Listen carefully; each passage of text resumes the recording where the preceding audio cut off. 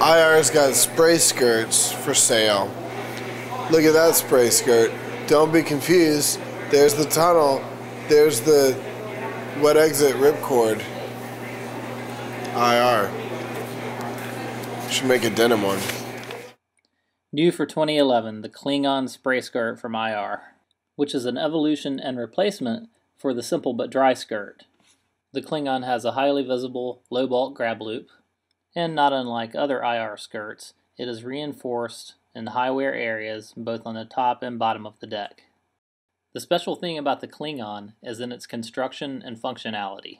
The way the bungee cord is sandwiched into the neoprene creates an extended rim or flange that gives a positive fit on various shapes and sizes of cockpit rims.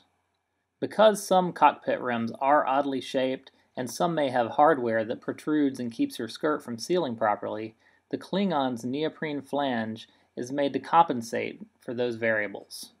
You can put this skirt on and take it off of cockpits just as easily as any other spray skirt.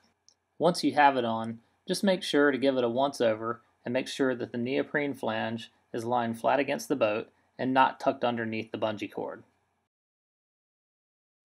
Thanks a lot, Hee Gens Productions, for making this whole thing happen. It was a magical video. A lot of people are going to learn a lot of things from us.